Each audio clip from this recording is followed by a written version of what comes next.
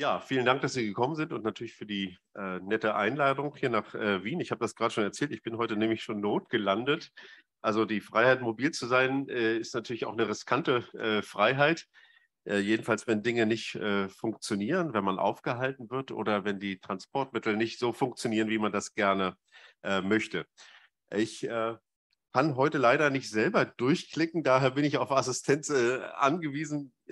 und ja, ich würde sagen, wir fangen im Prinzip so ein bisschen mit der ersten Folie an, äh, weil ich äh, jetzt auch aus Anlass des Festivals die Frage der Freiheit natürlich mit der Frage von Grenzen und Mobilität in irgendeiner Weise verknüpfen muss. Und wenn man sich da in der normativen Theorie, in der Diskussion der politischen Philosophie umschaut, gibt es eine ganze Menge, Menge an Anknüpfungspunkten, warum vielleicht äh, Mobilitätsfreiheit auch zu so etwas wie dem Kernbestand von Freiheit oder von unserem Freiheitsbegriff mit dazugehört. Und das kann man sich ja schon leicht vorstellen. Was ist eigentlich das Gegenteil von, äh, von Freiheit? Ja, das ist das Gefangensein. Ne? Also so das Gefängnis ist zum Beispiel der Inbegriff von äh, Unfreiheit. Und da geht es eben hauptsächlich darum, dass man immobilisiert wird, dass man an einem Ort kaserniert oder festgehalten wird, dass man in eine Zelle gesperrt wird. Und äh, von daher ist die Vorstellung, die wir heute haben von Freiheit, natürlich unglaublich eng äh, mit äh, der Idee äh, von Bewegung äh, verknüpft. Äh, es gibt viele liberale Theoretiker, die sozusagen die Mobilitätseinschränkungen, die wir alle oder global auch immer noch haben, durchaus als Problem thematisieren. John Rawls hat das weniger gemacht, weil er eben stark in national gesellschaftlichen Zusammenhängen gedacht hat. Aber es gibt viele, die gesagt haben, also wenn man eigentlich Rawls zu Ende denkt, dann müsste man eigentlich auch so etwas äh, wie ein, äh, sozusagen ein Grundrecht auf globale Mobilität äh, festschreiben. Warum ist das so? Ja, weil natürlich die Gesellschaft die Mobilität einschränkt in globaler Hinsicht oder Mobilitätsrechte sehr ungleich vergibt ja eigentlich eine feudalistische Gesellschaft ist. Und ich werde jetzt in meinem Vortrag so ein bisschen versuchen zu zeigen, äh, dass äh, äh, wir doch global so etwas wie einen Mobilitätsadel haben und viele andere auch im Zuge der Globalisierung eigentlich zunehmend von Globalität, Mobilität ausgeschlossen sind. Also wenn man jetzt als Außerirdischer auf die Erde sich zubewegen würde, dann wäre die Erde eigentlich so parzelliert, so in kleine Waben, kleine nationale Territorien, gibt auch ein bisschen größere und ein paar der Bienen, die hängen dann da fest und andere, die können dann zwischen diesen unterschiedlichen Waben einfach hin und her fliegen. Und die erste Idee, die man hat, ja, es gibt ja irgendwie einen Mobilitätsadel.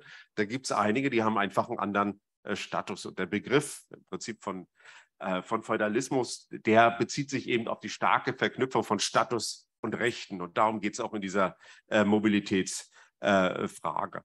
also die Idee, äh, dass äh, die globale Gerechtigkeit und Fairness äh, vielleicht äh, so etwas äh, wie ein normatives Fundament für die Frage der Mobilität sein könnte. Das ist eine, eine zweite, die man dann nennen könnte.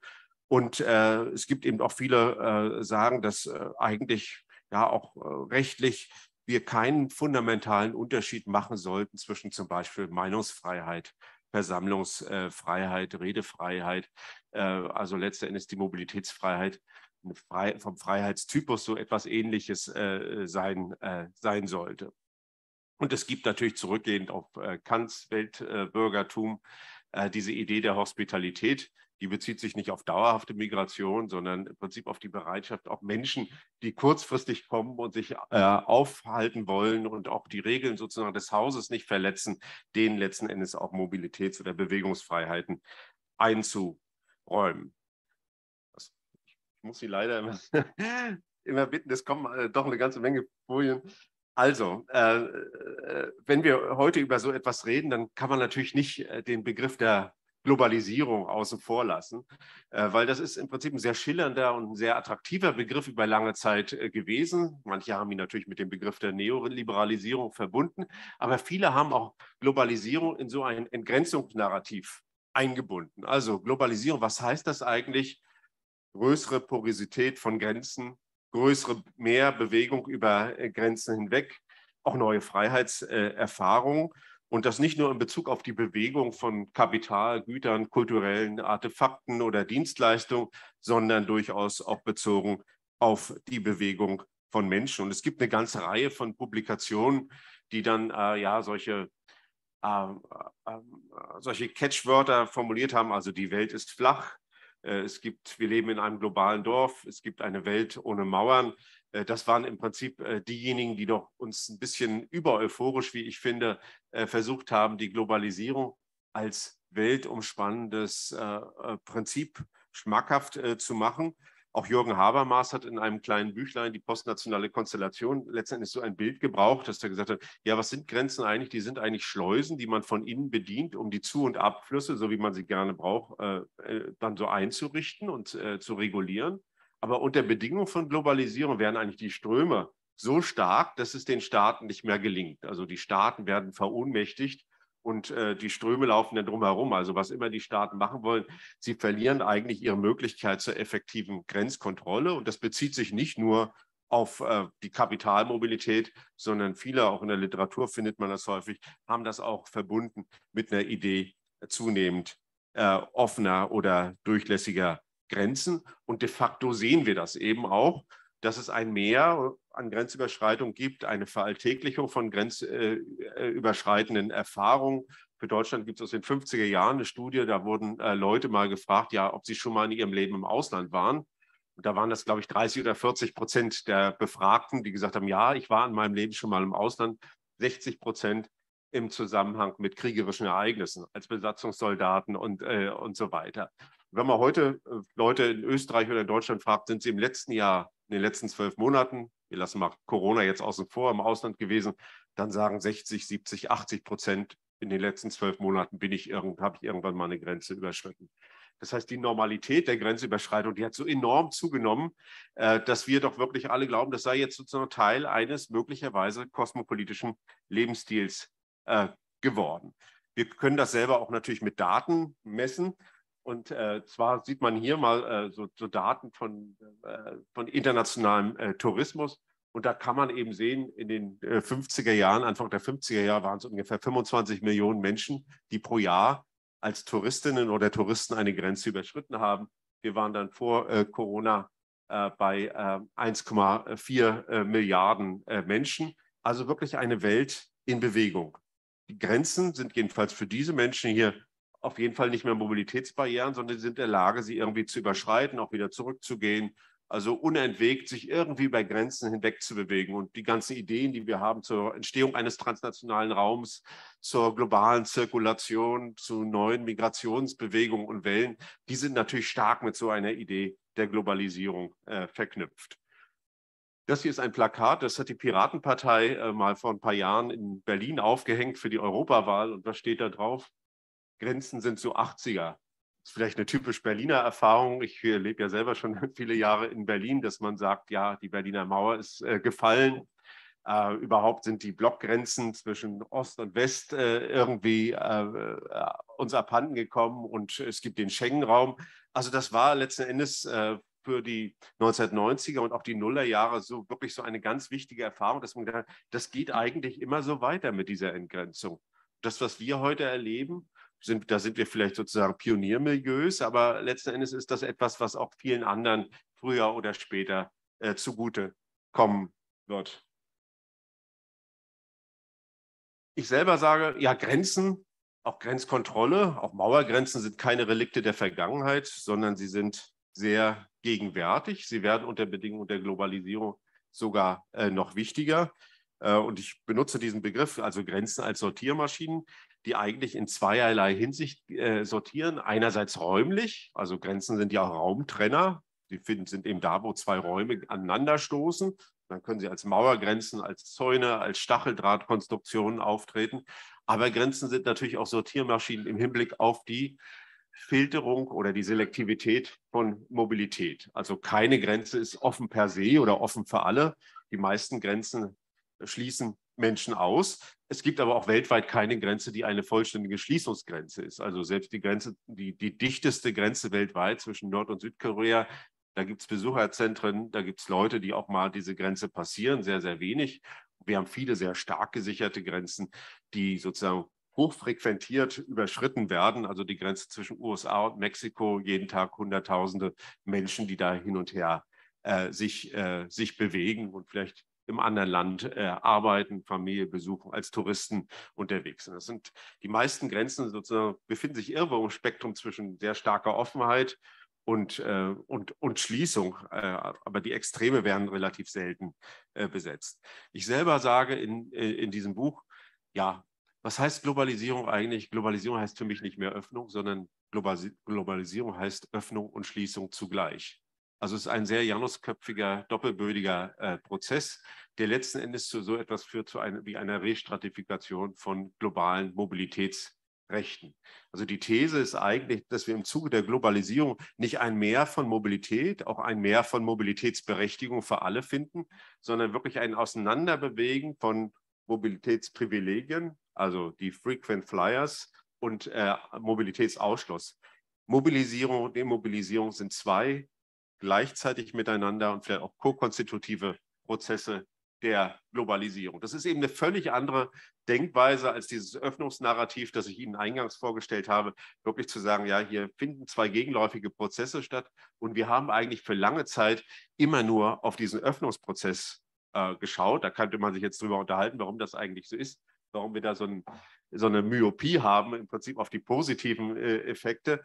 Äh, äh, aber de facto, wenn man die Literatur sich anschaut, dann gab es eben eine starke Tendenz, äh, Globalisierung so einseitig zu interpretieren. Und wenn immer ich das mal vorgestellt habe, von Schließungsglobalisierung zu, ja, zu sprechen, dann haben, sind die Leute eigentlich so ein bisschen auf die Barrikaden gegangen und gesagt, das geht doch nicht, das ist doch Antiglobalisierung. Und ich habe gesagt, nein, das ist sozusagen inhärent Teil der Globalisierung selbst. Das ist nicht gegen Globalisierung, das ist nicht Antiglobalisierung, sondern Schließungsglobalisierung äh, gehört zur Globalisierung genauso dazu wie Öffnungsglobalisierung. Das ist kontraintuitiv, das räume ich ein, aber ich glaube, man kann das sehr, sehr gut äh, erklären.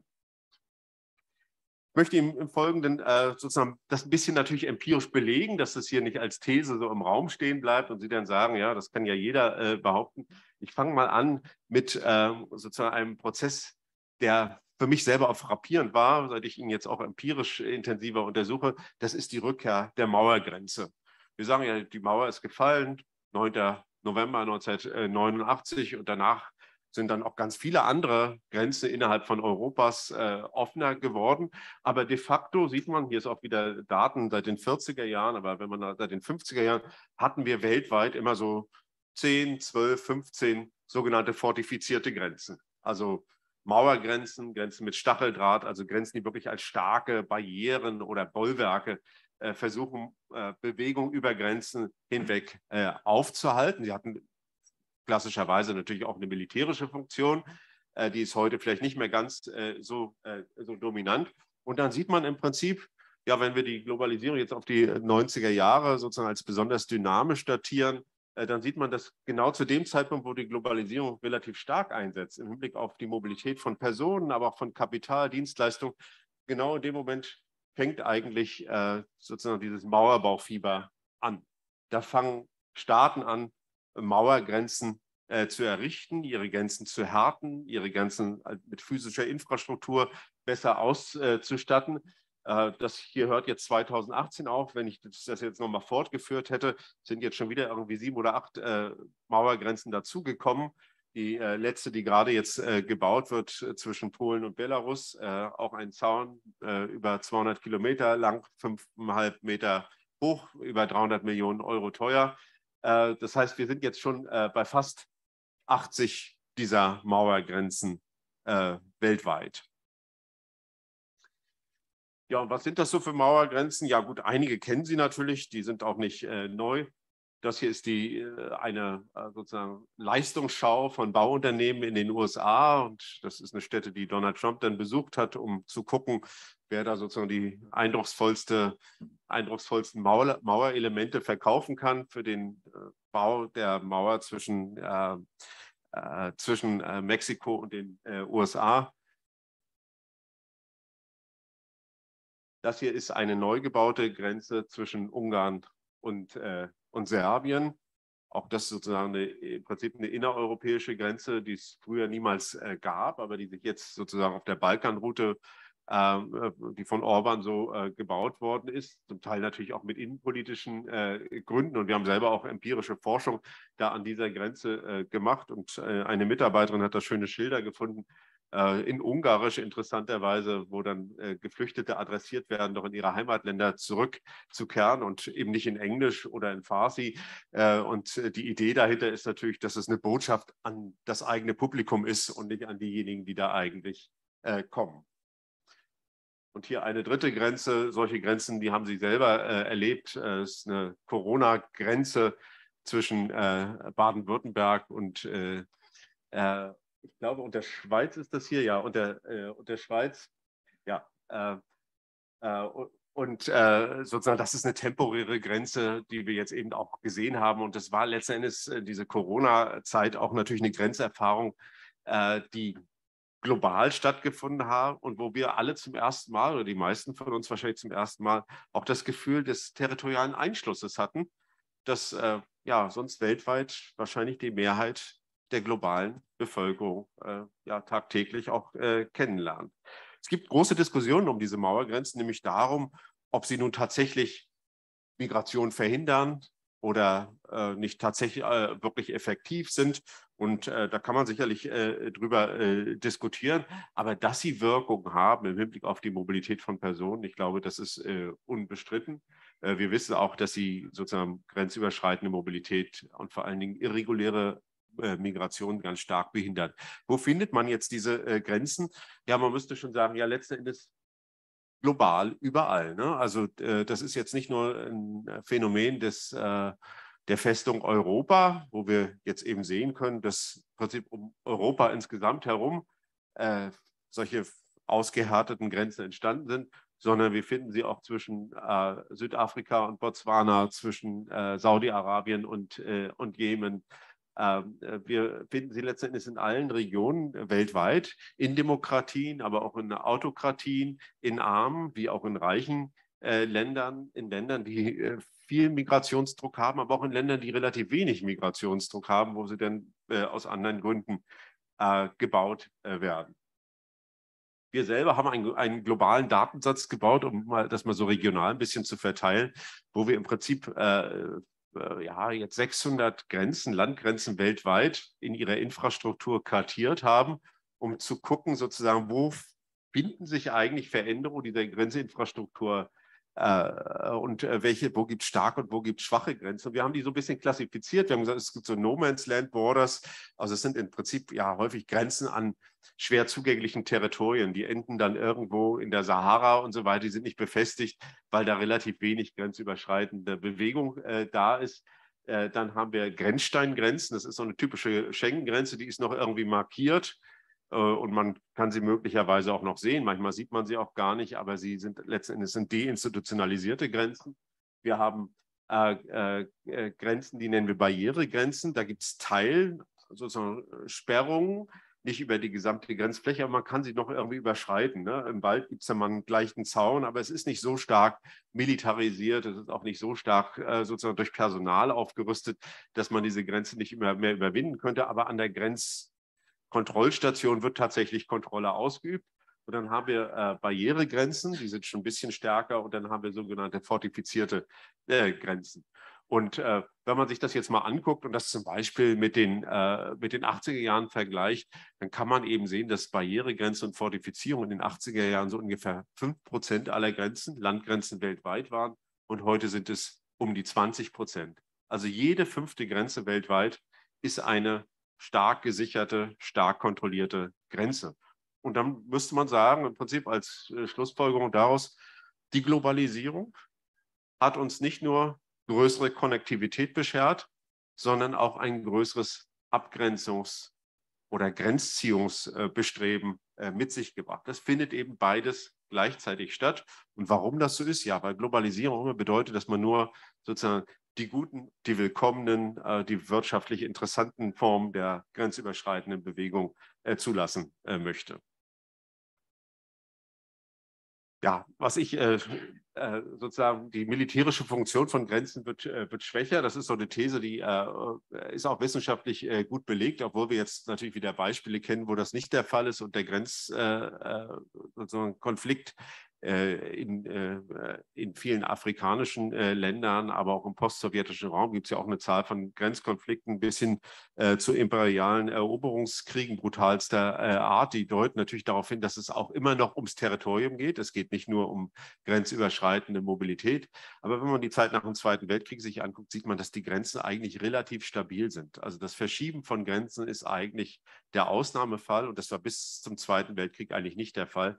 Da hätte man im Prinzip eine globale Landkarte nehmen können und äh, die dann äh, sozusagen immer mal alle 20 Jahre erneuern. Und da hätte man schon gesehen, dass sich viele Grenzen auch über die Zeit verändert haben. Und seit äh, ja, 70, 80 Jahren ist das relativ äh, stabil mit doch jetzt äh, sozusagen drastischen und auch äh, erschütternden Ausnahmen der Versuche, territoriale Eroberung wieder hoffähig zu machen.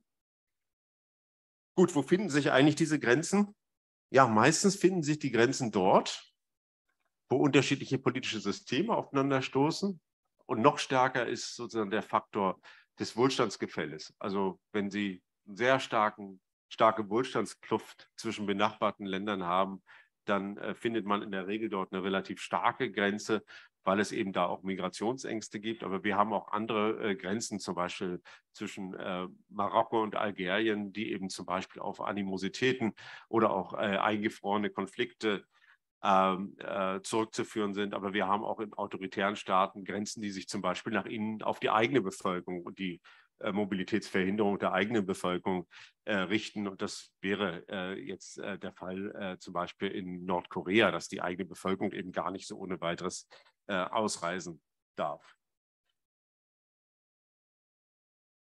Gut, ich will ein bisschen was dazu sagen, warum warum ich eben glaube, dass Grenzen heute stärker filtern als, äh, als früher. Ich glaube, Risiko, der Risikobegriff ist, ist ein Schlüsselbegriff, um äh, heutige Grenzen äh, zu verstehen. Alles dreht sich äh, darum und alles dreht sich darum, Grenzen letzten Endes zu sehr effizienten, äh, sehr geräuscharmen, äh, auch sehr tiefgreifenden, semipermeablen Filtern umzubauen, die erwünschte Formen von Mobilität erleichtern und im Prinzip die Grenze als Störung verschwinden lassen und vielleicht sogar aus dem Bewusstsein, aus dem Horizont verschwinden lassen und zugleich effizient unwillkommene, risikoreiche, also in Anführungszeichen, also diejenigen, die als risikoreich politisch definiert werden, dann äh, auszuschließen. Äh, also die Grenzdurchlässigkeit wird immer äh, selektiver.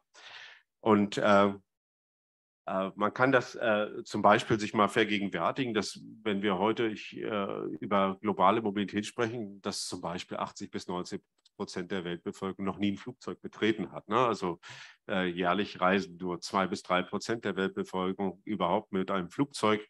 50 Prozent aller Flugreisen werden von den Europäern durchgeführt weltweit. Sie äh, stellen aber nur 16 oder 17 Prozent der Weltbevölkerung. Man könnte es auch andersrum sagen. Also äh, fast 20 Prozent der Weltbevölkerung leben in Afrika. Äh, de facto sind nur drei Prozent aller Reisen weltweit durch Menschen aus afrikanischen Ländern äh, werden die durch, durch diese durchgeführt. Also es gibt eine unglaublich starke Asymmetrie dieser globalen Bewegung, der grenzüberschreitenden äh, äh, Bewegung.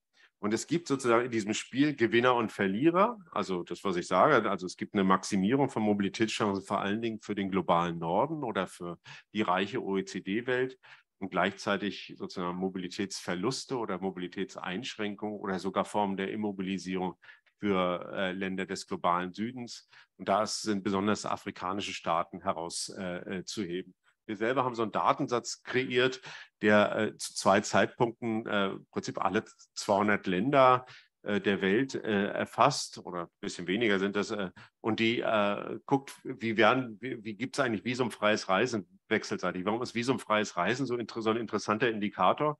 Weil das sozusagen der stärkste, die stärkste Determinante dafür ist, ob Reisen überhaupt stattfindet. Wenn Sie eine Visumpflicht einführen, gibt 70 bis 80 Prozent weniger grenzüberschreitende äh, Mobilität. Es gibt auch weniger Direktinvestitionen, weniger Handel und äh, wirtschaftlichen Austausch. Aber ganz, ganz wichtig ist sozusagen die Beschränkung von Reisen, weil es sehr, sehr mühselig wird, Visum zu beantragen, noch teuer, seinen Pass dorthin zu schicken. Und da können wir eben sehen, das ist so die Verteilung für 1969, die ich, die ich jetzt hier zu, zuerst habe. Da gibt es ein paar Länder, die sind Ausreißer.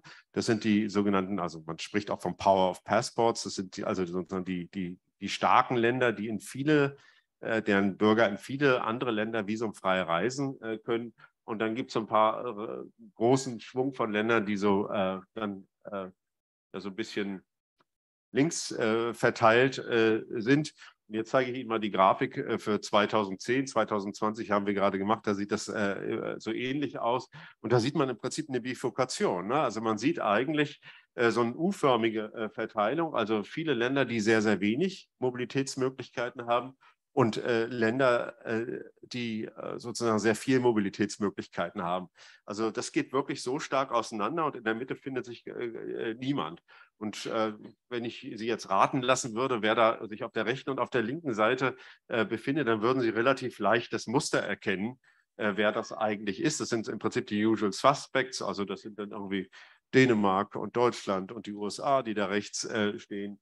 Und links stehen dann äh, Länder äh, wie Afghanistan oder Somalia, Syrien, äh, das sind im Prinzip diejenigen, die in wenige äh, Länder. Wenn ich Ihnen äh, diese 69er-Daten vorlegen würde, dann könnten Sie nicht so ohne weiteres sagen, wer ist eigentlich auf der Gewinner- und der Verliererseite. Sie würden auf der Gewinnerseite Länder finden, die man dort überhaupt nicht erwartet und auf der Verliererseite ebenso. Also das zum Beispiel ein Land wie Portugal konnte Menschen aus Portugal konnten 1990 ganz, ganz wenig andere Länder überhaupt erreisen. Also da sieht sozusagen die Verteilung ganz, ganz anders aus und hat sich jetzt sehr stark sozusagen entlang äh, der, der, der Wohlstandshierarchie äh, entwickelt. Also Wohlstand, äh, ökonomische Potenz und Mobilitätsrechte gehen ganz eng zusammen. Die Gewinner sind im Prinzip die reichen Demokratien. Wir haben auch ein paar Länder, äh, äh, vor allen Dingen äh, arabische Ölländer, wo die Menschen in viele Länder visumfrei reisen können. Aber der stärkste, allerstärkste Faktor ist im Prinzip der ökonomische Wohlstand, nachdem sich so eine globale Mobilitätshierarchie äh, dann äh, stratifiziert.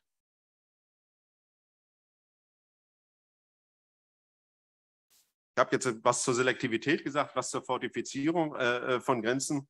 Äh, ganz, ganz wichtig äh, für die Veränderung von Grenzen heute ist all das, was man so unter dem Titel Smart Borders diskutiert. als Donald Trump 2019 5,7 Milliarden Budget einplanen wollte, um äh, die Mauer zu Mexiko zu bauen. Da haben die Demokraten äh, geantwortet, ja, die Mauer ist eigentlich ein Relikt der Vergangenheit. Heute geht es eigentlich um Smart Borders oder virtuelle Grenzen. Das ist die Zukunft.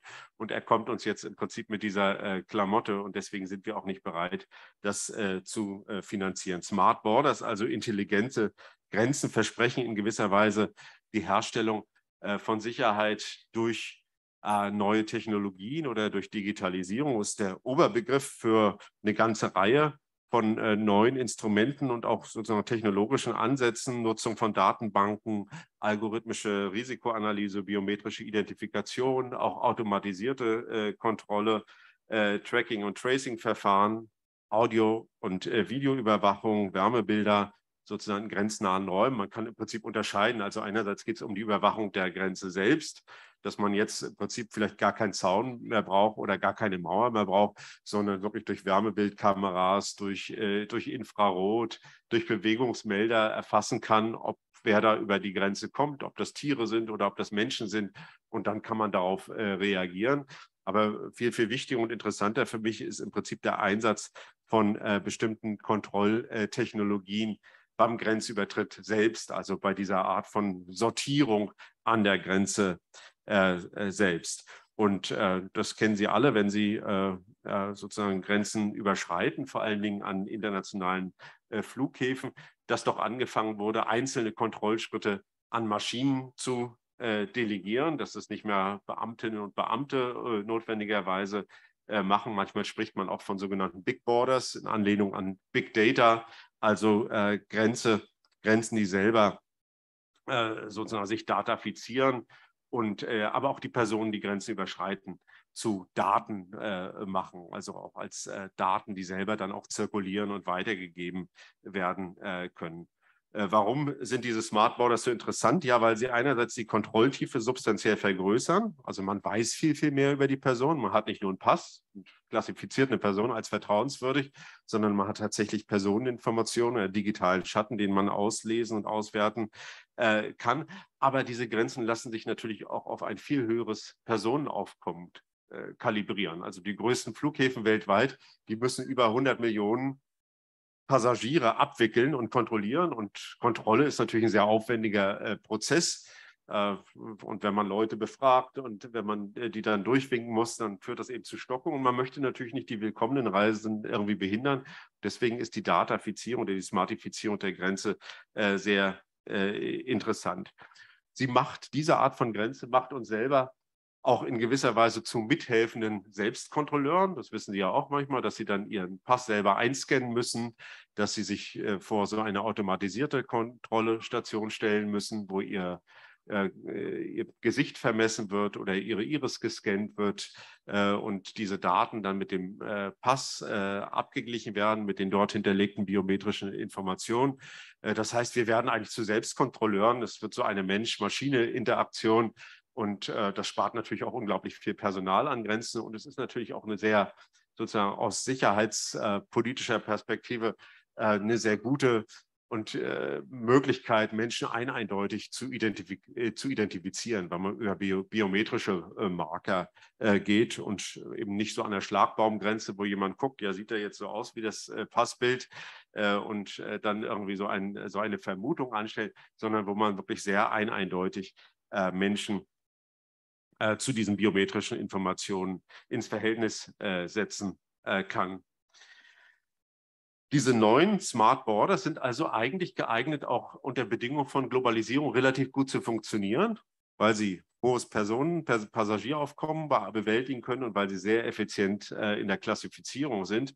Das heißt, man kann eigentlich die grenzüberschreitende Bewegung für diejenigen, die willkommen sind, immer leichter äh, machen.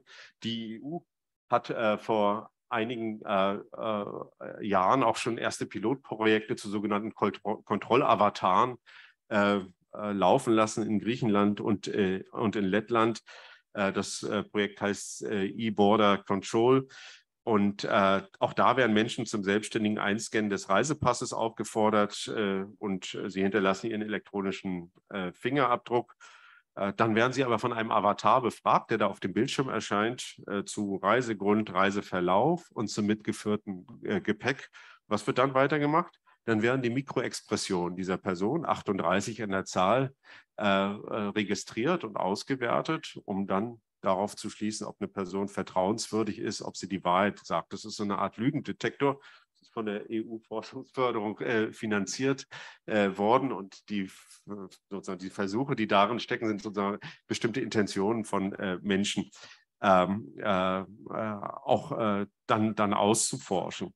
Und im Prinzip diese Verbindung von biometrischen Daten, also eine eindeutige Identifikation der Person über Körpermerkmale, äh, wie auch die Möglichkeiten sozusagen, äh, äh, diese Informationen mit weiteren Daten zusammenbringen. Das ist nochmal ein qualitativer Sprung im Kontext dieser äh, Grenzkontrolle. Wir haben heute auch viele freiwillige Systeme, die schon existieren, wo Leute sich selber so zu Trusted Travelern machen können, indem sie vorab Daten abgeben, zum Beispiel ihre sozialen Mediendaten. In den USA gibt es das.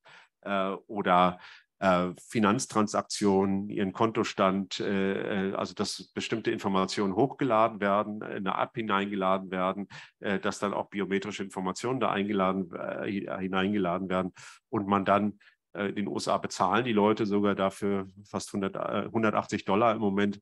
Äh, und dann kommen sie in so eine Fastlane auf dem Flughafen, so wie das, wir das auch für EU-Bürger kennen. Sie können dann aber einfach durchlaufen. Ne? Also sie werden dann gar nicht mehr kontrolliert, sondern beim Durchlaufen wird eigentlich gecheckt, wer sie sind. Und das ist im Prinzip die unsichtbare Grenze oder die Grenze, die aus dem kognitiven Horizont verschwindet und nicht anders funktioniert als eine gläserne Kaufhaustür, auf die wir uns zubewegen, die uns erkennt, sich dann öffnet und hinter uns äh, wieder schließt. Natürlich geöffnet bleibt für die, äh, geschlossen bleibt für die, die nicht äh, willkommen äh, sind. Also das ist diese kontaktlose Walk-through-Border, wie ich das mal genannt habe. Ne? Also die, da geht man einfach drauf zu. Das ist eine Grenze, die findet für die Willkommenen gar nicht mehr als Grenze statt.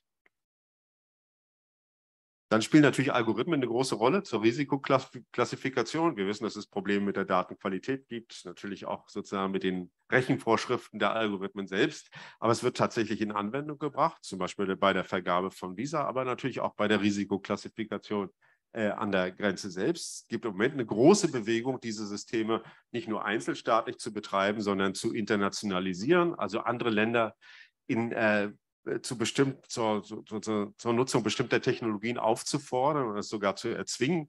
Äh, die EU hat Kooperationsbeziehungen zu äh, Ländern Westafrikas, wo die Länder eben äh, sich auch verpflichten, zum Beispiel biometrische Informationen in Pässe hineinzugeben oder neue ID-Karten auszugeben. Und das ist alles sozusagen mit dem Ziel, doch der vollständigen Registrierung und sozusagen der eindeutigen Identifizierung von mobilen äh, Personen. Und wir haben natürlich eine starke Involvierung von Technologieunternehmen. Ne? Das können Staaten nicht selbst, sondern sie brauchen dafür eigentlich Public-Private äh, Partnerships, Leute, die oder Unternehmen und Technologieunternehmen, die das mit ihnen äh, zusammen machen. Eine sehr wichtige Firma ist die Firma Clear in, in den USA, die nach dem 11. September entstanden ist. Und äh, die haben jetzt zum Beispiel diese Check-in-Technologien, die sie am Flughafen entwickelt haben und da im Einsatz haben, die haben sie im Prinzip auch in die Fläche gebracht im Zuge der Covid-Pandemie. Das sind eigentlich so ähnliche Technologien. Man geht auch ins Restaurant oder auf den Campus oder in die öffentliche Bibliothek, muss sich einchecken mit, mit dem QR-Code, wenn es geht, noch mit Gesundheitsinformationen, die dazugeladen werden. Also das heißt, das, was als Risiko betrachtet wird, ist historisch und sozial natürlich variabel. Das kann sich auch immer wieder äh, verändern. Also Risiko wird hier verstanden, von mir verstanden, auch als politisch konstruierter und gesetzter äh, Begriff. Und was heißt das eigentlich, wenn man so eine Grenze hat, solche Technologiegrenze? dass der Ort der Grenze möglicherweise nicht mehr ganz so entscheidend ist. Also Gren die Grenze findet nicht mehr unbedingt am Grenzverlauf statt oder am Eintrittspunkt, also auf dem Flughafen, sondern die Grenze kann im Prinzip in den öffentlichen Raum hineinwandern. Äh, das ist in Europa nicht der Fall, weil wir relativ strikte Datenschutzregeln haben, die mir auch noch nicht strikt genug sind, aber im globalen Vergleich sind sie sehr, sehr strikt. Aber viele andere Länder äh, können diese biometrischen Informationen weiter äh, nutzen. Und wenn man Kameras, zum Teil hunderttausende Kameras im öffentlichen Raum sind, dann kann eine Person, die man, äh, die jetzt zum Beispiel mit einem Visum legal geblieben ist und über den Ablauf des Visums hinaus äh, dann da bleibt, äh, also sogenannte Visa-Overstay, dann kann man die an jedem öffentlichen Ort, wo eine Kamera hängt und die Leute beobachtet, wiedererkennen und diesen Ort auch zum Grenzkontrollort äh, machen. Das sind dann ja Bahnhöfe, öffentliche Plätze, äh, sonstige Dinge. Überall da, wo im Prinzip solche Informationen äh, wieder äh, zusammengespielt äh, werden. Die EU selber baut ja auch ein sogenanntes Entry-Exit-System, dass man eben vollumfänglich Drittstaatenangehörige äh, dann auch registriert, wenn sie nach Europa reinkommen und dann wieder so im Prinzip auslockt, registriert, wenn sie rausgehen und man weiß dann genau das Delta. Ne? Wer ist eigentlich nicht rausgegangen, müsste eigentlich. Und die kann man natürlich mit solchen Technologien im öffentlichen Raum dann auch immer wieder aufspüren und dann möglicherweise auch äh, zurückführen. Gut, das ist hier so ein äh, äh die, sozusagen die, die Werbung für so ein äh, Trusted Traveler äh, Programm in den äh, USA, wo man auch so keine Paperwork mehr, äh, No Processing Lines und so weiter. Ist alles ganz einfach und äh, ihr könnt dann zu willkommenen, sozusagen sehr leichtfüßigen, grenzüberschreitenden Reisenden werden. Für euch spielt die Grenze eigentlich keine große Rolle mehr. Ihr müsst nur freiwillig eure Daten abgeben. Ne? Also die Datenspende äh, und äh, die Mobilitätsfreizügigkeit, die werden da so miteinander verknüpft. Das ist eigentlich eine Tauschbeziehung, die man da eingibt. Und je je mehr Leute das dann im Prinzip machen, desto äh, stärker wird vielleicht auch der Druck, der normative Druck, aber desto länger werden wir auch die Schlangen bei denjenigen, die es nicht machen, weil man die dann auch zwingen möchte in diese freiwillige, äh, in diesen Datenvoluntarismus, dass sie selber ihre Daten abgeben, um dann auch daran partizipieren zu können. Gut, das hier sind auch solche Maschinen, ne? also mit Eye-Tracker, die auch an Flughäfen stehen äh, oder äh, mit biometrischen Identifikationen das braucht überhaupt keine Person mehr, das kann man alles selbst machen. Ne? Also es gibt ja äh, sozusagen der ganzen Diskussion äh, zu äh, äh auch so zu neuen äh, Konsum- und Dienstleistungen, dass man immer so zum äh, mithelfenden Mitarbeiter wird. Man muss ja jetzt auch in der Kasse schon selber dann einscannen und, und so weiter und bezahlen. Und ähnlich ist das beim Flughafen auch. Also eigentlich wird die Kontrolltätigkeit an einen selber delegiert. Also man muss dann alles selbst machen und äh, eine dritte Person ist da überhaupt nicht mehr äh, dabei. Und hier, das ist äh, äh, in Dubai ein sogenannter Smart Tunnel. Das ist im Prinzip die Grenze der Zukunft, wie ich sie charakterisiert hat. Also da geht man durch, ein, man läuft einfach, man läuft einfach hindurch.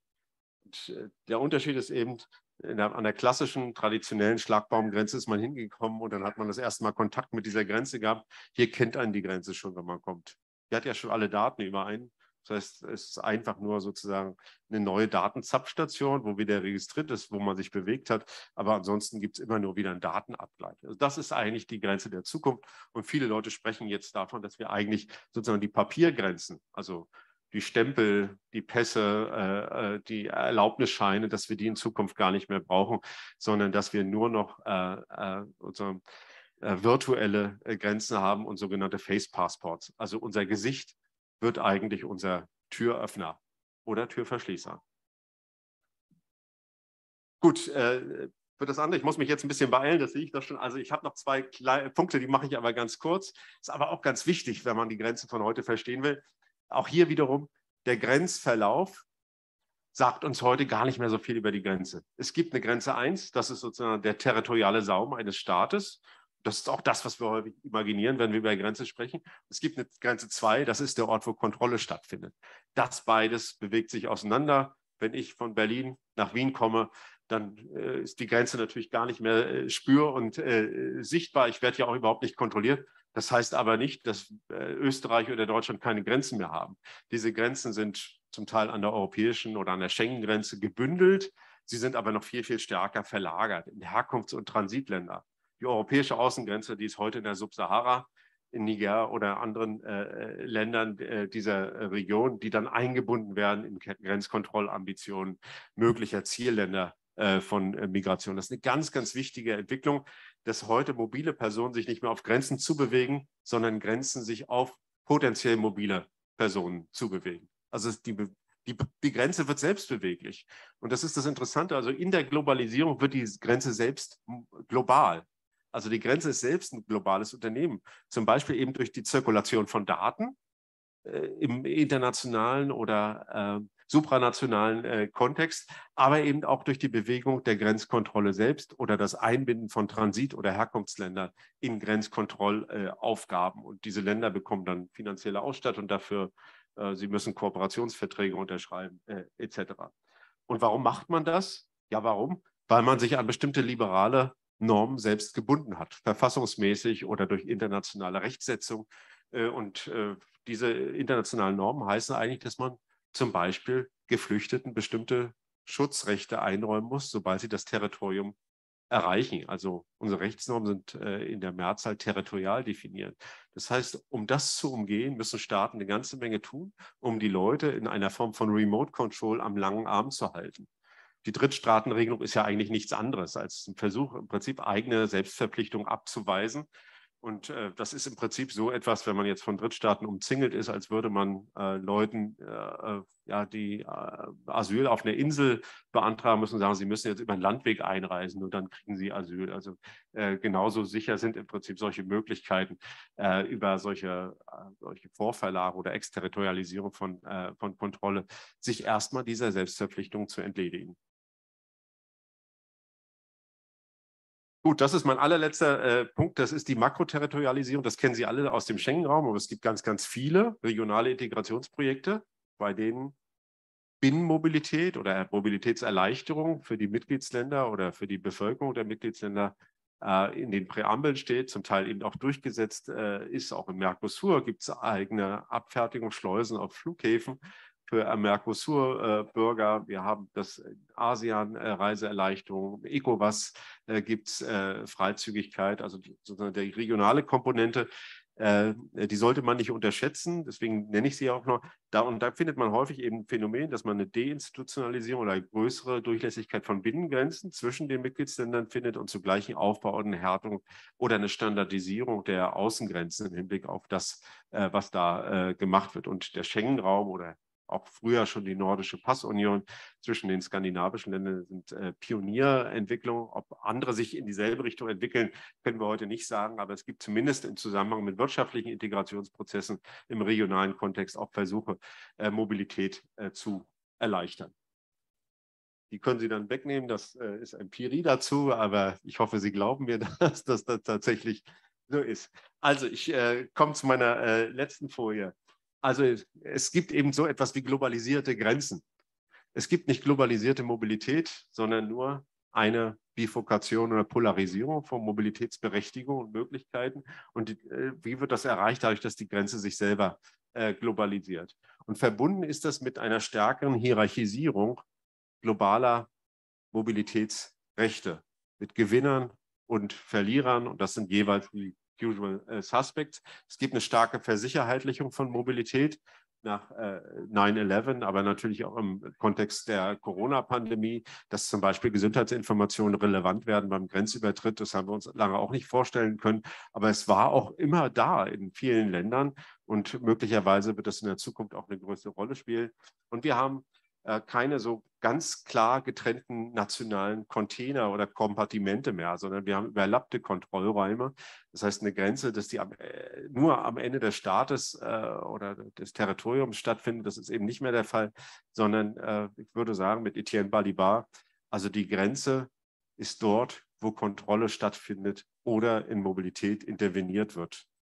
Und äh, dann ist die Grenze natürlich an ganz, ganz vielen Orten. Das ist ein anderes Grenzverständnis als unseres, das immer noch so eine starke territoriale Fixierung hat. Also wie gesagt, die Grenzen, denke ich, sind auch ähm, sozusagen Produzenten von äh, Mo Mobilität und Immobilität und zugleich äh, Ungleichheitsgeneratoren. Ich habe ja gesagt, beim Visum und auch bei den fortifizierten Grenzen spielt die Frage der globalen äh, Ungleichverteilung oder auch der Wohlstandsgefälle die allergrößte und dominante Rolle. Und solange die Welt so ungleich ist, wie sie ist, äh, solange wird es auch so starke Grenzen und so starke Formen der Sortierung an Grenzen geben. Vielen Dank.